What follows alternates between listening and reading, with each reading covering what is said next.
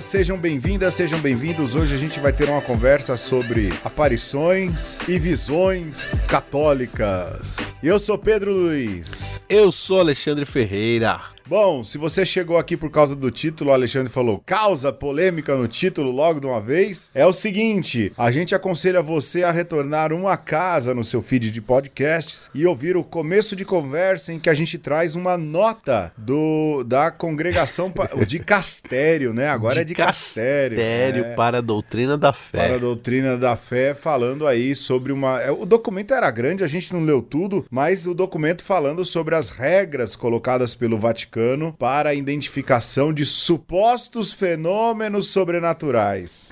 O Vaticano deixa muito claro, né? Supostos fenômenos.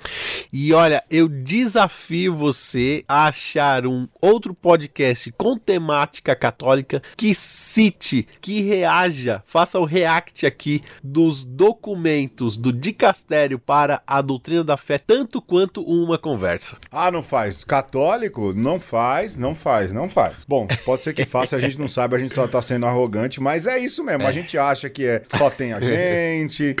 É isso mesmo. O nosso mundinho A nossa é esse. bolha de nove ouvintes.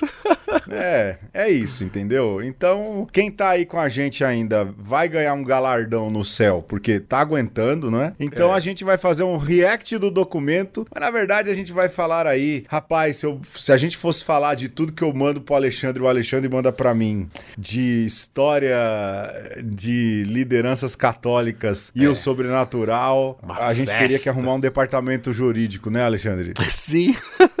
Bom, a gente vai lá, a gente vai lembrar então desse documento, não é? Muita gente falou: ah, esse documento vai ajudar um pouco a regulamentar essas aparições marianas, porque é verdade, né? Olha, o que não falta no mundo em que a gente tá. Aliás, depois eu pensei, a gente podia ter chamado o Julio Caprani, né? Mas o Julio é um cara sério. Pensei o Julio é um também. cara sério. E esse programa tende a ser uma galhofada. Eu não ia colocar o Julio em maus lençóis, um cara que a gente gosta tanto. Abraço, Exato. Julio. Um cara que a gente gosta muito. Não vamos colocar o Julio nessa.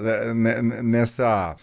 né, nessa arapuca. Saia justa. O cara não merece. O cara. É, nessa saia justa, o cara não merece. Então, seremos nós mesmos, não é? Lógico, o programa fala, o programa, o documento fala, e eu acho que é, muito rapidamente, antes de o Alexandre introduzir a pauta, o documento fala, e ele pede que se tome muito cuidado com aparições, com visões, mas também com milagre eucarístico, não é, Alexandre? Eu achei Também. interessante esse trecho ali, viu? É, desde aparições de Nossa Senhora, aparições com santos católicos e santas, mas também Fiz vista, vista, Vista de, de anjo, né? anjo. Tem gente que vê anjo. é, milagres eucarísticos, tudo que tem relacionado aí à fé católica e que tende a atrair muitos fiéis é, é enquadrado nesse documento aí. Que, assim, de partida, É. Pedro, eu vou falar a minha opinião sobre o documento. Eu achei, assim, ponderado, assim, um, uma- um sopro de, de ponderação. Muito, muito. O Alexandre, uma coisa que eu gostei na leitura, e isso é muito característico de Francisco, e quem ouve a gente mais tempo vai entender Sim. o que a gente tá falando, o poder que ele confere Sempre. ao bispo diocesano, né? Não, não centraliza mais não, não, o bispo, olha, porque o papa é o bispo de Roma, o prefeito da congregação para, a, a- aliás, do dicastério para a doutrina da fé é um bispo, e ele não é diferente de um bispo diocesano, né? Quem é a primeira pessoa a fazer esse tipo de discernimento? O bispo diocesano. Apesar, vou aqui abrir o primeiro parêntese, que eu já vi bispo pegar casos como esse e, empurrar pra frente no balcão, porque achou que não tinha condições de resolver, viu? É, rapaz. E assim, para os céticos também, o documento, de certa forma, é frustrante. Porque não é que necessariamente o documento é, acabe com tudo. Fala, olha, é, não é mais pra ter, não é mais pra acolher. Muito pelo contrário.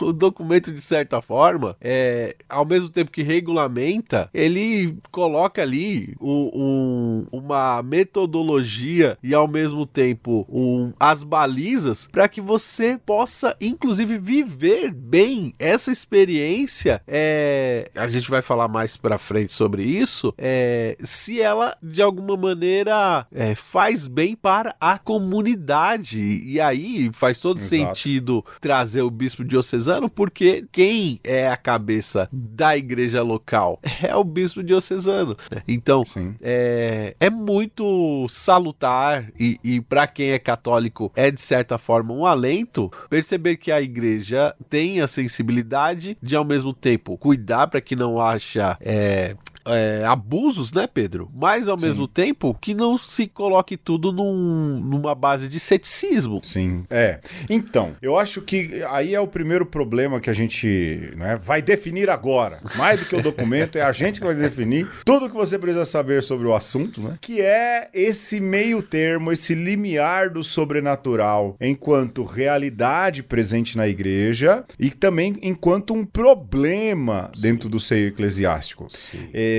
porque vamos lá, isso tem a ver até com a natureza de Jesus, não é? Que era verdadeiro Deus, mas era não, é, né? É verdadeiro Deus e é também um verdadeiro homem. Ou Sim. seja, há ali nessa dualidade, e, e, não é dualidade, é a integração, vou até falar correto para depois não me chamarem de herege, né? É. Essa integração daquilo que é o transcendente, aquilo que transcende, com o imanente, aquilo que está dentro da nossa realidade, dentro daquilo que é a nossa vida. E isso pode ser um, um problema, e esse é um problema, por exemplo, na cristologia de saída, porque quando a gente, é, na cristologia, esquece a transcendência de Jesus, a gente corre o risco de transformar Jesus numa, numa mera liderança terrena, numa mera Sim. liderança local, né? tal e qual Bar Kokhba, ou como falam, ai, até ele fala que Jesus é Che Guevara, e qualquer coisa que o valha. Mas também, quando você investe investe ou vai só no discurso que reforça a transcendência de Jesus, você deixa de lado toda a imanência, todo o fato de que Jesus se encarna na realidade e a realidade é um dado importante. Ou seja, o sobrenatural é um problema, não é, Ferreira? Sim, e a gente tem que lidar com esse problema de uma hora ou de outra, né? E de um jeito ou de outro, porque a gente ouve a palavra sobrenatural e tende logo a pensar que existe as coisas da natureza e existe aquilo que é quase como se fosse é um, sobre é um, um, um cheat no jogo, né? Uma, uma trapaça. Sabe quando você colocava o modo turbo no, no Street Fighter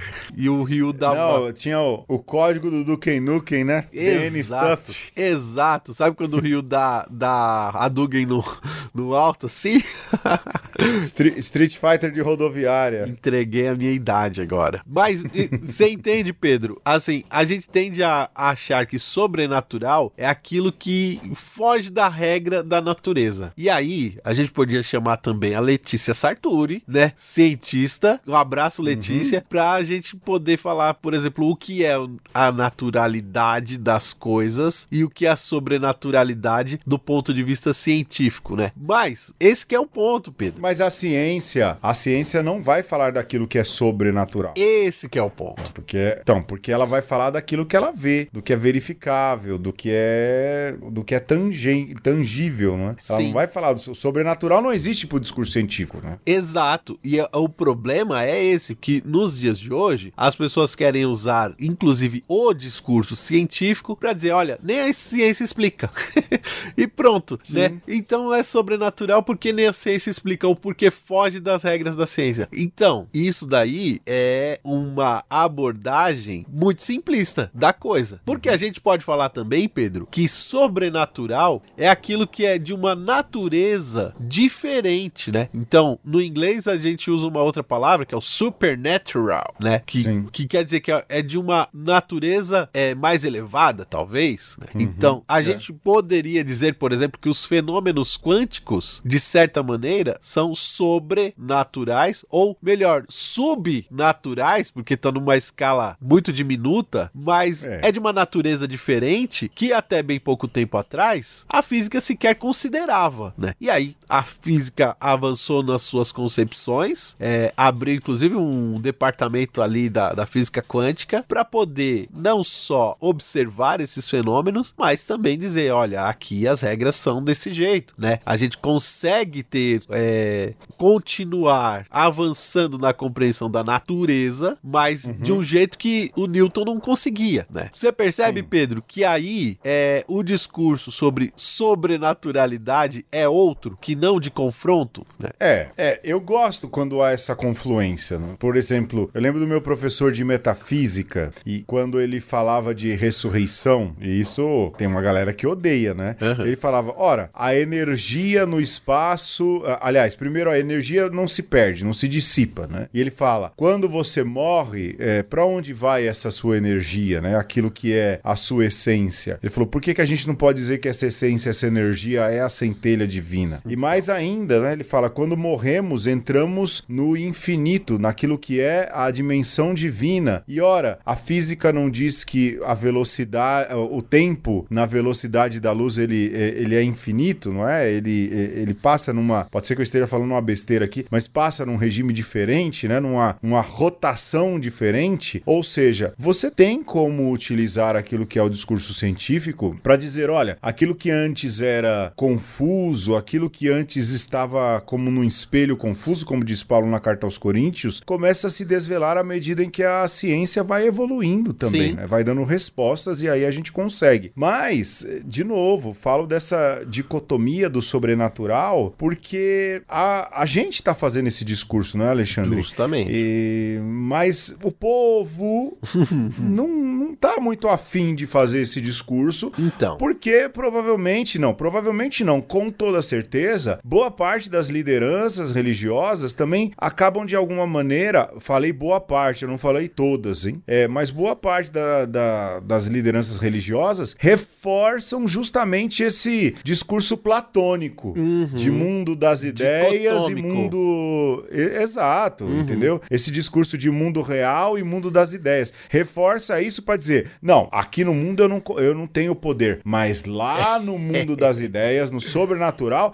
eu transformo pão em carne. Né? É... é mais ou menos o discurso que se usa, né? É. E aí, Pedro, eu acho que é importante também a gente trazer é, outras visões de mundo, talvez até bem próximas, ainda que a gente não é, tenha essa visão de mundo, ela tá no nosso horizonte aqui, porque faz parte, inclusive, da nossa ancestralidade. É, na mentalidade dos povos indígenas, por exemplo, é, se entende que existe o espírito das águas, o espírito das plantas, né? E aqui espírito é uma palavra maldita, inclusive, no sentido de que Sim. ela não explica bem, né? Mas existe uma noção de que a, existe uma vida que perpassa e que de alguma forma anima esses outros estados de existência. Então, se você é de uma cultura indígena e de alguma forma se relaciona com o entre aspas espírito das águas, isso não é sobrenatural, muito pelo contrário, isso é da naturalidade das coisas, porque a concepção de mundo é, é diferente, né? Porque não tem uhum. dicotomia, né? E, e isso é, tem que ser dito também, né? Quando a gente olha esse e, toda essa preocupação do dicastério para a doutrina da fé, que dependendo da visão do mundo, o que é sobrenatural não tem nada de sobrenatural, é do comum da vida, porque as pessoas entendem desse jeito. Tem outros, é, tem outras formas de lidar com a realidade. E sabe como é que a nota, ou melhor, é, é nota, Pedro? Ou é instrução? É uma, uma, uma normativa. Uma né? normativa, né? Normas. Ele, eles falam aqui. Peguei o documento para ver. Eles resolvem Boa. isso muito simplesmente do ponto de vista filosófico e que o cientista é, contemporâneo não vai ter problema, mas também, olha só, Pedro, o filósofo medieval também não vai ter problema. Eles vão falar assim: a cabeça humana, a mente humana é limitada e tem coisa que a gente não entende, né? E talvez nunca vai entender. E tem coisa que, como você já disse, Pedro, com o tempo a gente vai clareando as ideias e vai ver que onde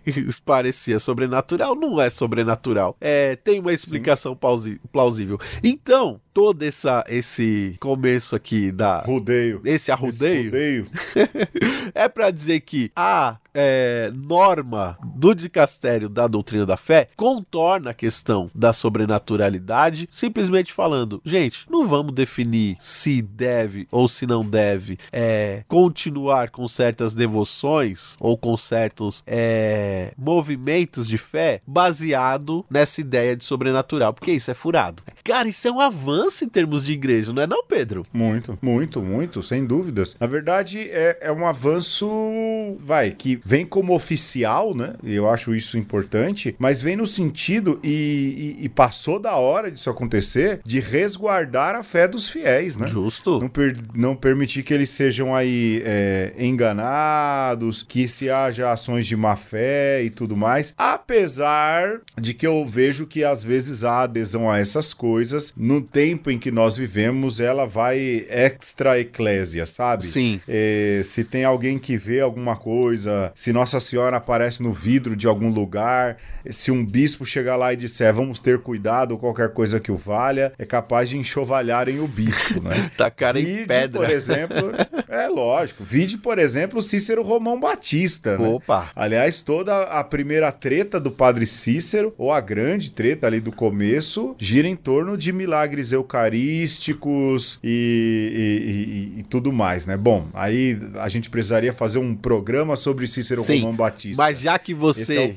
Já que você tocou, e como a gente tá falando aí, né, desse, dessa coisa das visões, das aparições, né, é, de milagres, enfim, é importante dizer que quem era o foco dos milagres eucarísticos não era o Padre Cícero, era a Beata Maria Não. de Araújo, uma mulher Exato. preta, e que aí o pessoal fala assim: imagina que Jesus vai deixar de se transformar eh, de, de pão pra carne e lanciano pra vir se transformar de No Cariri. de pão pra carne no Cariri, né? Então, se desqualificou primeiro a mística, né? A beata. Sim, sim. E aí o padre Cícero, pela sua influência e porque de certa forma, é, sim, quis também resolver a questão, né, do ponto de vista pastoral e assumiu o, o BO pra si, sobrou pra ele, né? E a beata foi invisibilizada. É importante que se diga. Muito, muito, muito, muito. As informações que eu tenho do Cícero, do Cícero padre, não é daquele livro, aquela biografia que vende pra caramba lá no Juazeiro, não é? A, a, a história do padre Cícero. Eu esqueci o nome do autor, rapaz. O livro não tá aqui nessa parte da biblioteca. Mas é justamente a treta se dá em cima disso também, né? Ele assume o BO e o, o mais interessante, terminando esse parêntese enorme, né? Que não tinha muito a ver, mas acaba tendo, é que esse fenômeno acaba convertendo todo mundo, ou boa parte dos outros padres que são enviados lá pra desacreditar o padre Cícero, Pois é. né?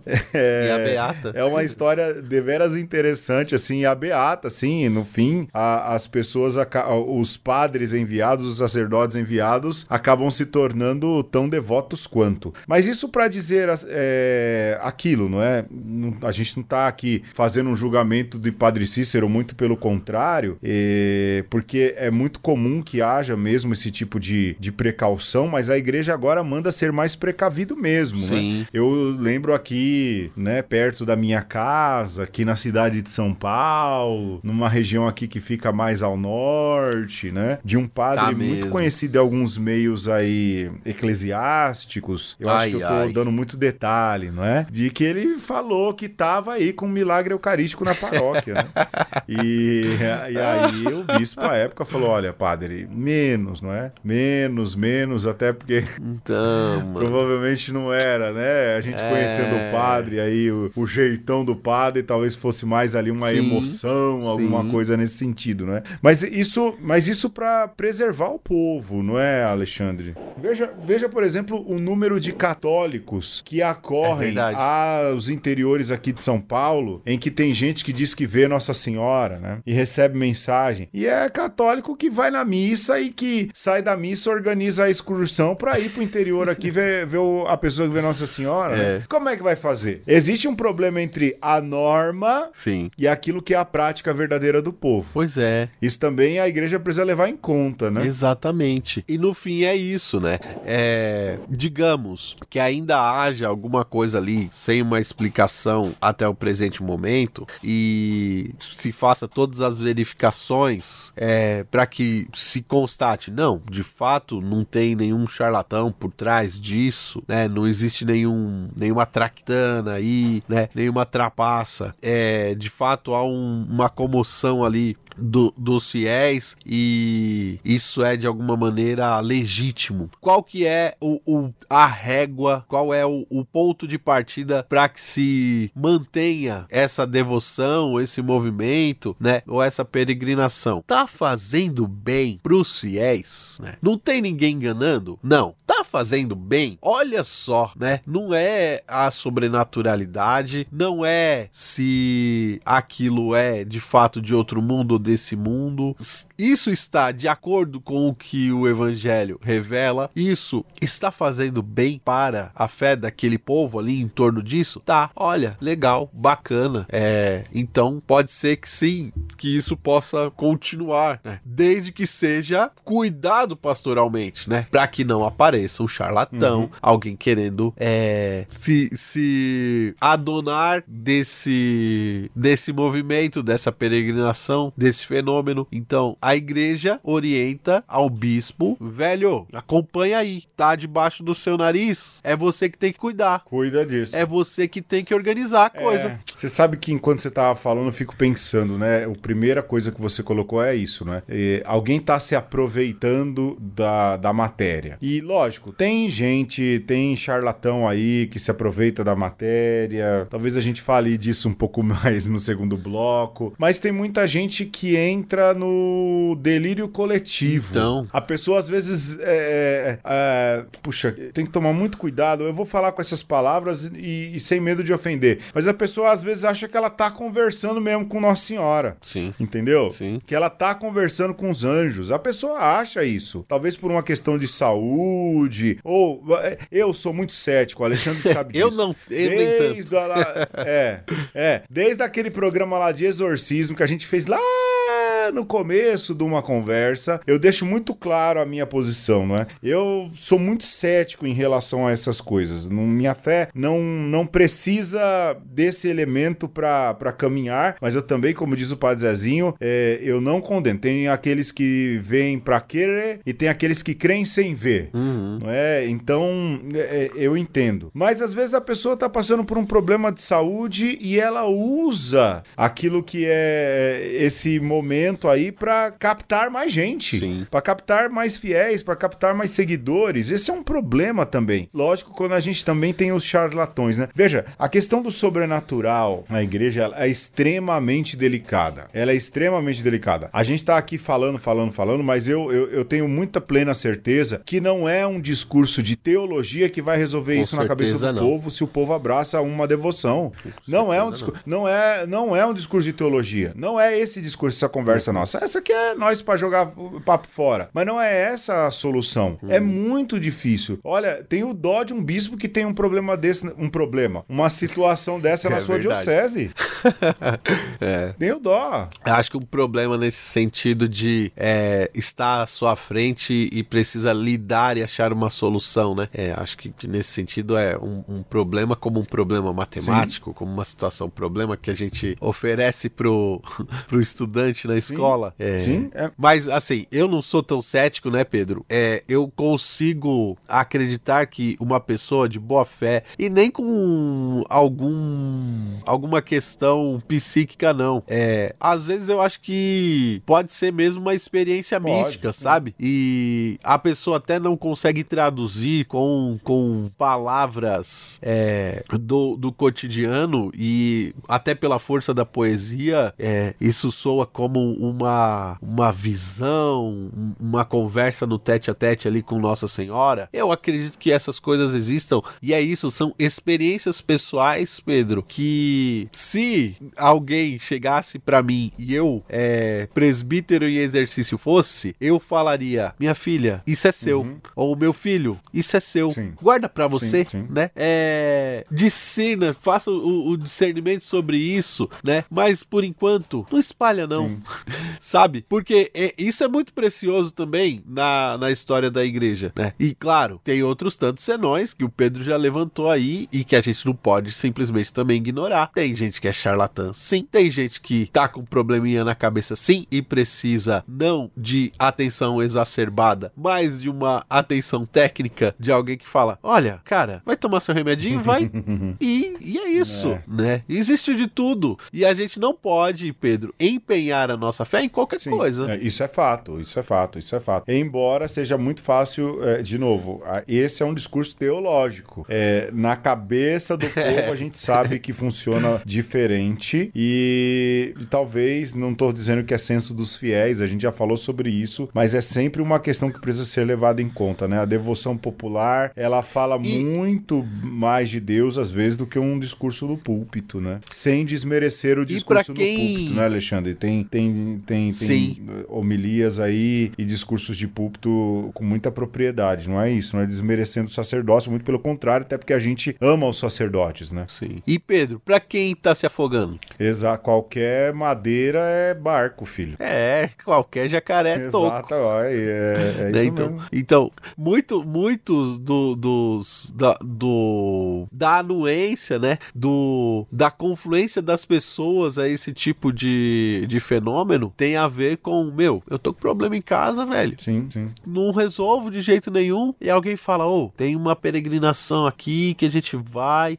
e tal, e lá você vai se sentir bem e quem sabe lá você encontra a resposta. Rapaz, eu, quem sou eu para falar dessa água, sim, não beberei, sim, entendeu? Na hora da dificuldade, como disse o Alexandre, quem tá, para quem tá se afogando, qualquer jacaré é toco. Alexandre, vamos ouvir uma musiquinha produzida por você, coisa fina numa conversa, um patrocinador agora de verdade, a gente já volta. Bora lá.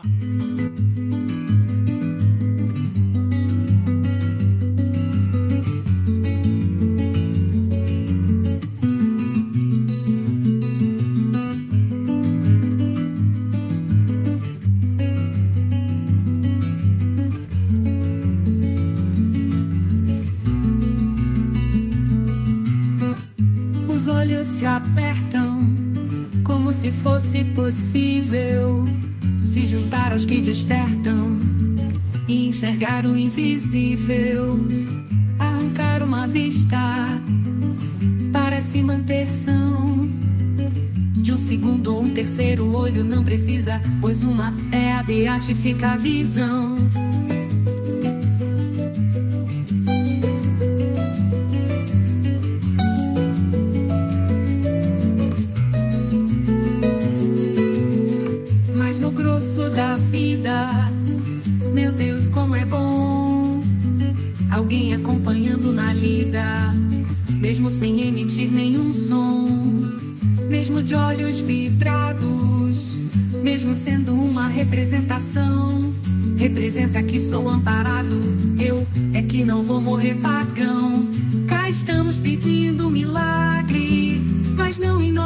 Multidão.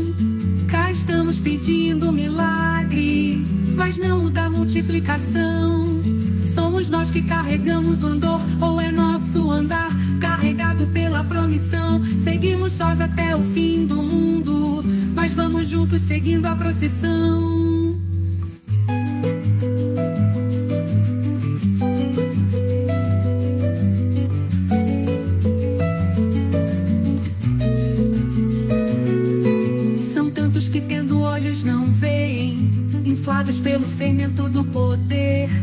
Inflacionados por pouco se vendem, inflamados tendem a apodrecer. Há santos que dos olhos vertem lágrimas para nos compadecer. Os que se convertem prometem não mudar, mais um ex-voto oferecer.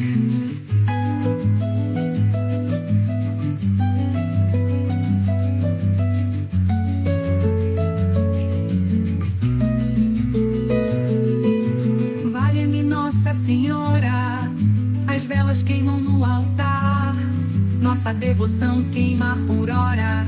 Sabemos o que é preciso exaltar: o cuidado e a bondade materna, que de maneira sobrenatural é um vislumbre da realidade eterna.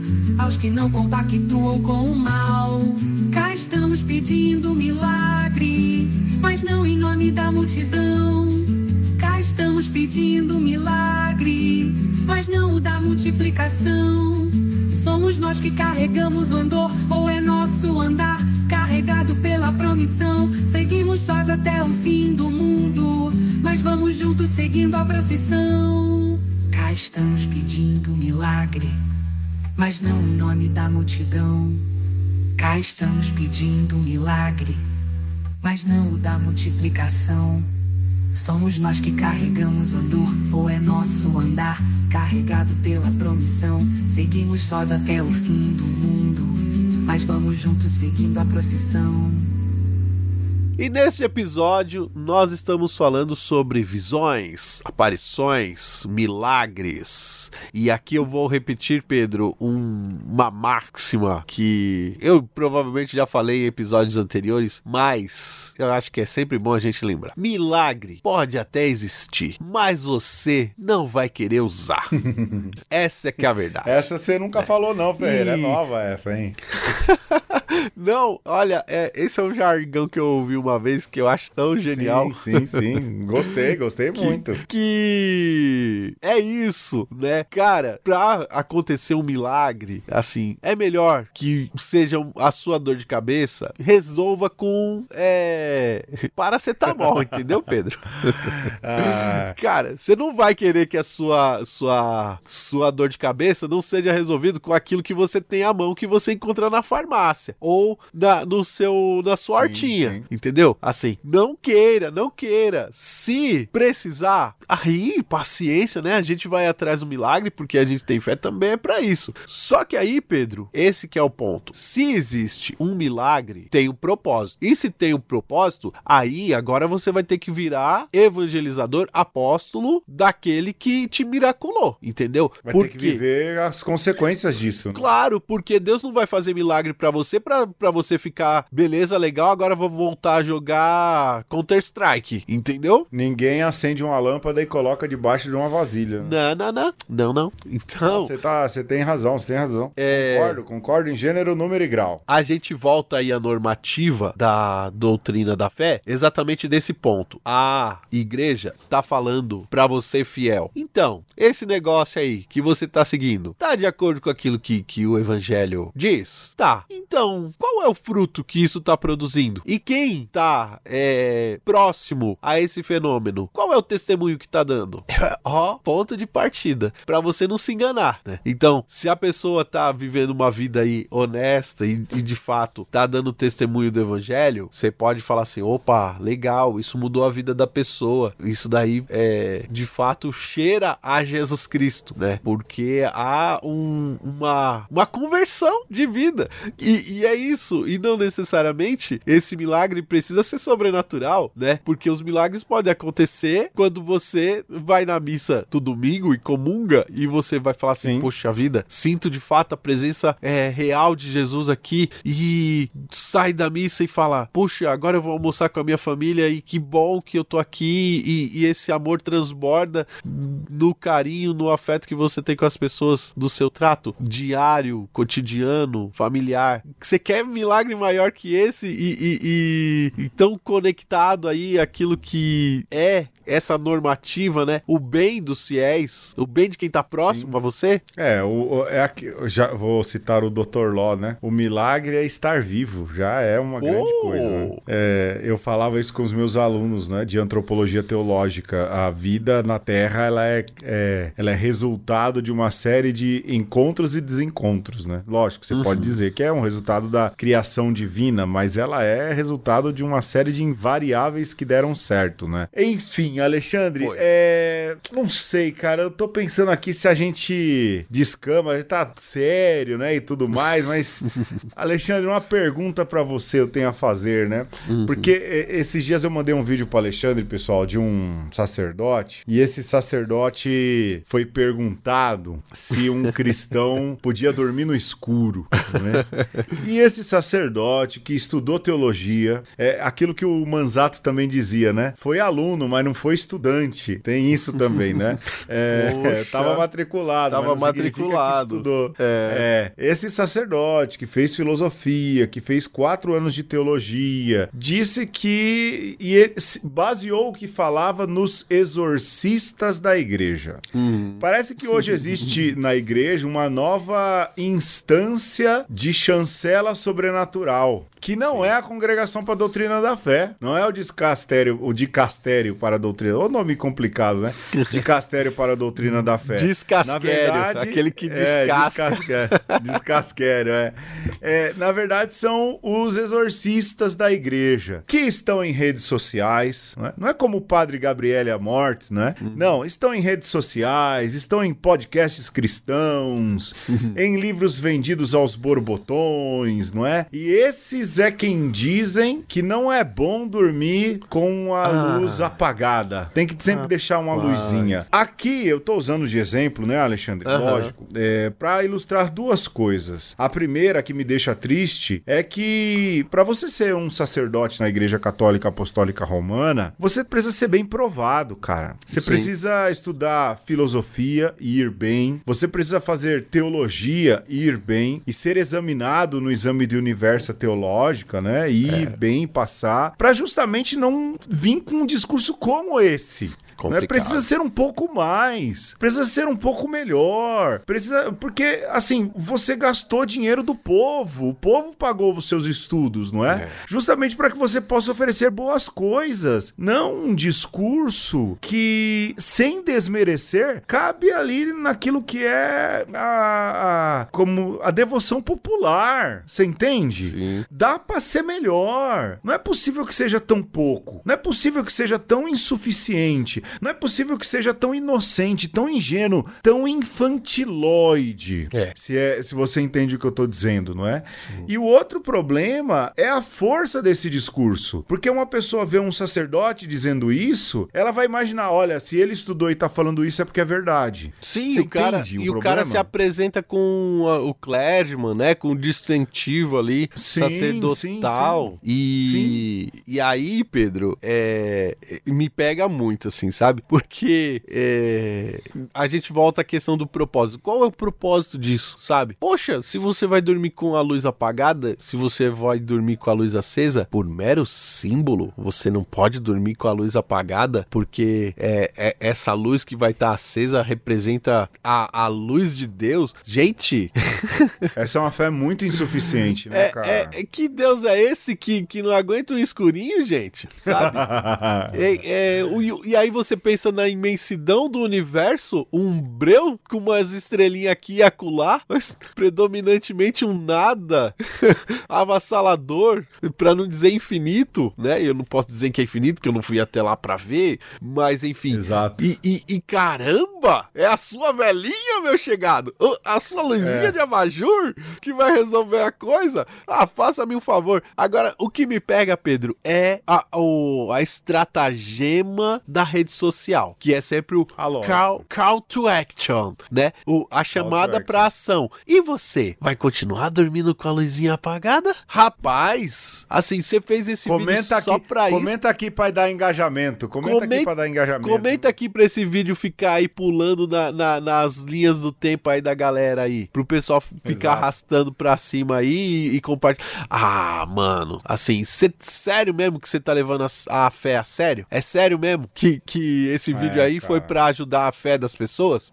Vamos ser mais espertos, né, gente? É, cara, eu, eu me entristece muito justamente por isso, não é? É, não sei, cara. É, a, que- a gente, né, Ferreira, tanto você quanto eu, a gente não pode reclamar dos párocos que a gente tem. A gente tem uns párocos bons, né, bicho? É, e que não pisa na bola na homilia, não é? É, a- Então. aquilo. A gente escolhe, escolhe direito, né? A, a gente, é, a hoje, gente né, não pode reclamar dos párocos que tem, Não né, Alexandre? pode. E a gente também não. Hoje a gente, até pela caminhada, né, Pedro, não consegue mais simplesmente falar assim: ah, vou aturar essa, é, essa homilia meia-boca aí, ou esse Não, pastoreio não meia-boca, né? É. Não dá, não dá, não dá, não E- tem, não tem como, né? Infelizmente não tem como, né? É, mas me entristece, assim, e, e, e me entristece quando esses discursos, eles partem é, de uma parte da, daquilo que é, vai, a igreja, né? Que são os clérigos, e, e eu não tô falando que são todos, não, a maioria, gente, tá, ó, hoje rezou missa, visitou doente, Sim. fez contabilidade da igreja, fez um Sim. monte de coisa Varreu boa, igreja. Varreu, é. foi no cemitério. Resolveu o é, prefeitura. Muito, creche, o cambal. A maioria infinita, eu digo mais de 98%, não é? é mas tem uns que é, eu, cara, eu fico muito triste por isso, porque também são esses que se sobressaem nas redes sociais, não é? Sim. Com um discurso é, que, não, que não gera, sabe, não gera imanência. É não. É só transcendência. É. E, e, e, e, não gera, Pedro, é, catequese, não gera evangelização, conversão. não gera conversão. É, é isso. É, é, o, é o perder tempo e, e gastar o, o precioso dinheiro que a igreja investiu para formação e para manutenção desse caboclo para isso, para ficar falando se você deve ou não dormir com a luz acesa. É. É, é vamos, vamos, vamos virar a página, porque senão vai parecer vamos. que a gente só tá falando é. desse aí que a gente e, nem sabe quem é, e, né? E, e, ô Pedro, é, eu vou queria voltar aqui ao descasquério. É, Sim. Porque Descasque. na hora que, que eu ouvi o começo de conversa, porque é assim, né, gente? É, às vezes eu ouço é, junto com vocês o, o começo de conversa. É... Que às vezes eu nem mando pro Ferreira. Pego é. um trecho e mando. E, e, eu gosto muito, inclusive, porque o Pedro lê por mim e eu acho isso maravilhoso. Mas aí, às vezes eu vou atrás para ler o, ou o resto do documento ou para voltar alguma ideia, porque a leitura nos dá também essas possibilidades. E aí, quando eu entrei ali na lista das publicações do de Castério para a Doutrina da Fé, eu achei uma coisa interessante, Pedro. Porque de uns tempos pra cá, esse de Castério tá gastando um tempo pra é, falar sobre algumas aparições, né? Sobre alguns desses fenômenos pelo mundo para dizer uma palavra ali que de alguma forma elucide ou acalme os fiéis. E aí, batendo o olho, eu achei um muito interessante que é sobre a devoção de Nossa Senhora da Rosa Mística. E ah, sim, sim, sim. O documento fala que as primeiras declarações é de 1947 e até então o é, Vaticano não tinha uma declaração assim tão formal. E me parece sim. que a normativa ajudou exatamente a botar alguns pingos nos is nessas devoções que estavam em aberto, assim, sabe? E é bonito, porque quando você pega lá a carta ao bispo de Brecha, fala assim: ó, oh, legal. Aí, olha só, de 47, né? Sim. Que foi a, as primeiras tratativas e tal. É mais de 60 anos, né? É, ou tá chegando aí nos seus 60 anos. E a, a igreja vai falar assim: se formou uma devoção que a gente não pode hoje virar as costas ou chegar pro povo e falar agora vocês descartem tudo isso aí né? Fala que o bispo deve de fato cuidar, e aí tem alguns pontos ali que é, existe, se fala que tem problemáticas, tem, tem questões ali que a gente tem que olhar com, com certo esclarecimento. Então, Sim. tem ali algumas é, frases atribuídas a Maria que fala assim: opa, peraí, isso daqui colabora ou não colabora com, com o evangelho, né? Uhum. Então vou pegar uma aqui, né? Aleatória. Pegue, pegue. O meu divino filho é sempre pronto a fazer descer sobre o mundo a graça da sua misericórdia. Né? Se você pega um, um essa frase assim, solta.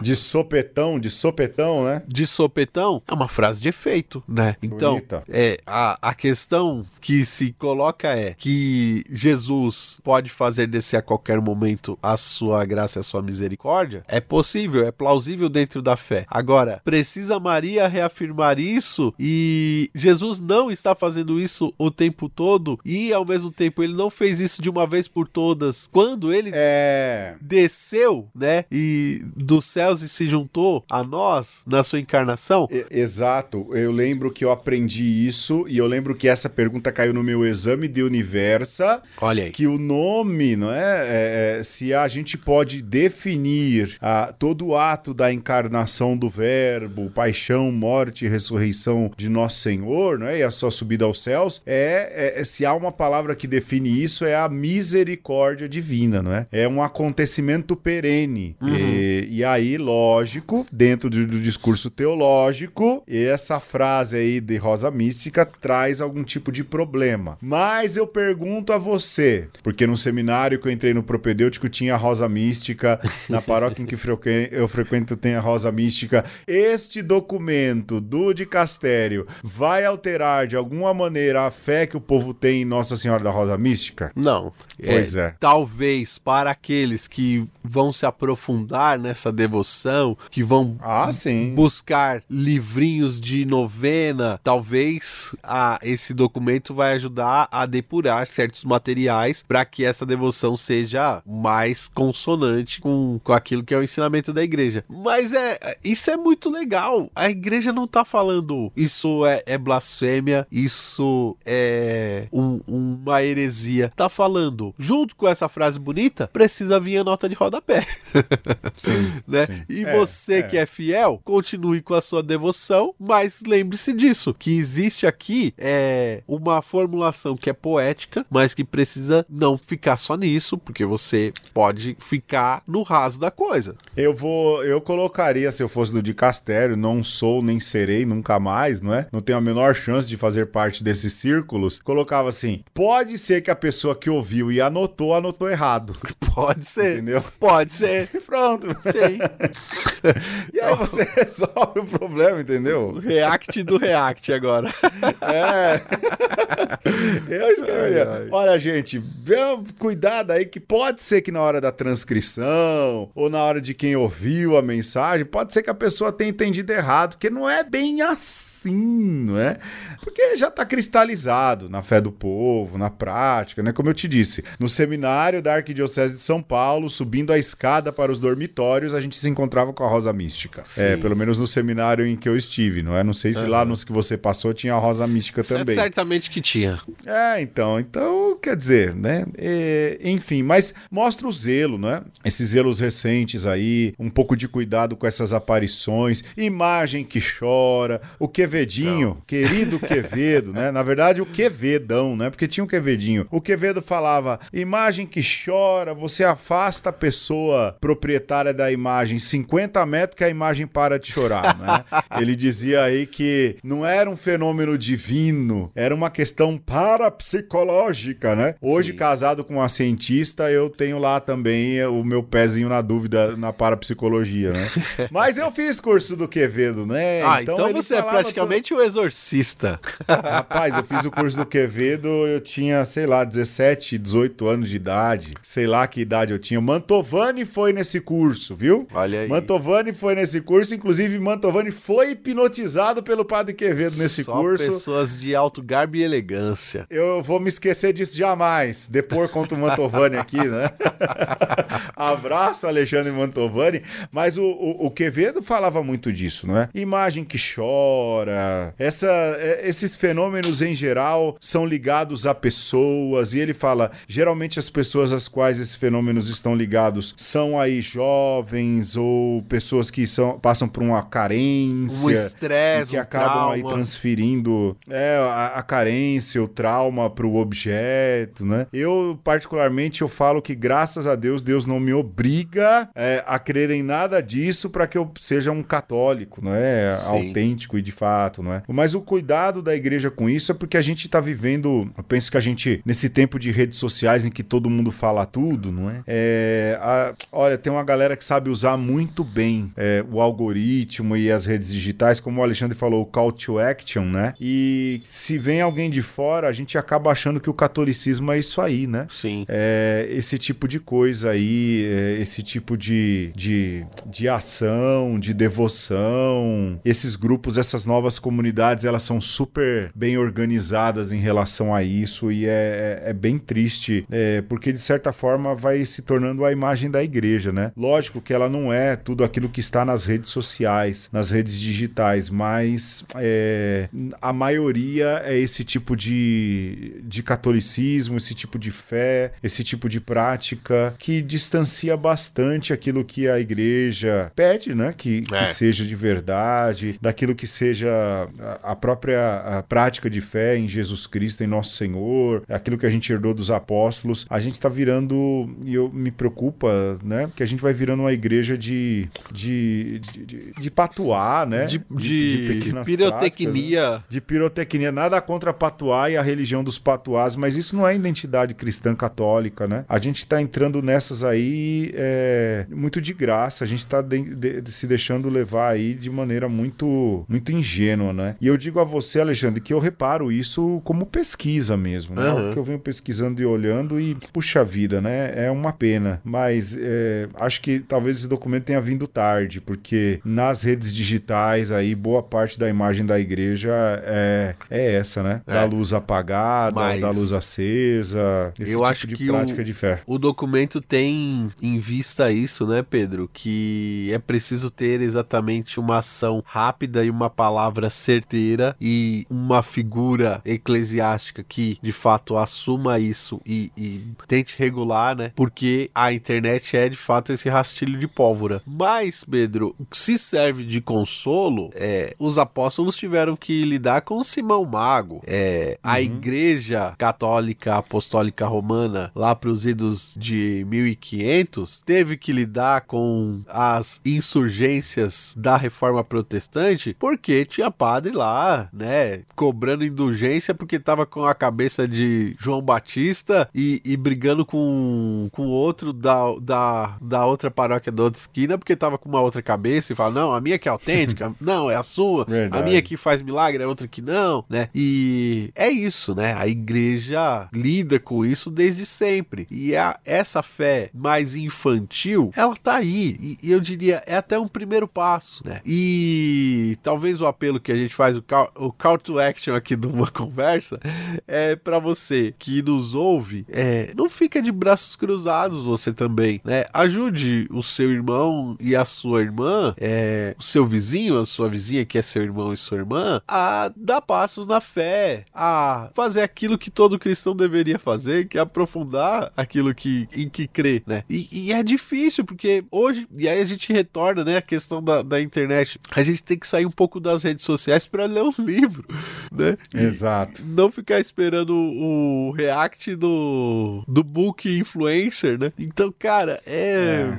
É complexo, e mas a, a resposta é sempre a mesma. Você tem que fazer esse, esse caminho, né? Árduo, diferente, de nadar contra a corrente, de, de correr atrás daquilo que é o seu crescimento espiritual. Sim, sim, sim. É porque vem se tornando aí o contrário daquilo que o Papa Bento XVI dizia lá em 2011, 12, 13, não é? Não é só estar e encher a, a internet de conteúdos. Hoje em dia, esses pregadores virtuais, o que eles mais querem é o curte, o compartilha, para que você tenha mais seguidores e aí você consiga vender mais coisas. Eu desconfio muito, e pode ser que eu esteja enganado e que Deus me castigue por isso, da real intenção de fazer o evangelho chegar em hum. detrimento daquilo que é fazer a firma continuar funcionando. Opa. Se é que você me entende. Enfim, Alexandre, acho que deu, né? Senão a gente vai deu. terminar muito amargo, mais do que a gente já começou, deu. né? Não, eu acho é que... isso, né? Acho que foi bom, acho que a gente conseguiu de alguma maneira aí, pelo menos trazer aí para algumas pessoas é, a existência dessas normativas e acredito, Pedro, que esse é um serviço que uma conversa presta, né? Além da diversão, além do entretenimento, alguma coisa a gente fala de doutrina da fé aqui, Pedro, e boa, isso é digno boa. de nota e louvável. É isso aí, estamos aí a sei lá que, que número de programa é esse aqui, nem sei. Veja aí na capa, tentando acertar, errando na maioria das vezes. Um beijo, Alexandre. Um abraço e um aperto de mão. Até semana que vem. Juízo, gente gente. E acende a luz na hora que for dormir. Tchau. apaga. apaga, apaga. São tantos que tendo olhos não veem inflados pelo fermento do poder, inflacionados por pouco se vendem, inflamados tendem a apodrecer, há santos que dos olhos vertem, lágrimas para nos compadecer, os que se convertem prometem, não mudar mais um ex voto oferecer.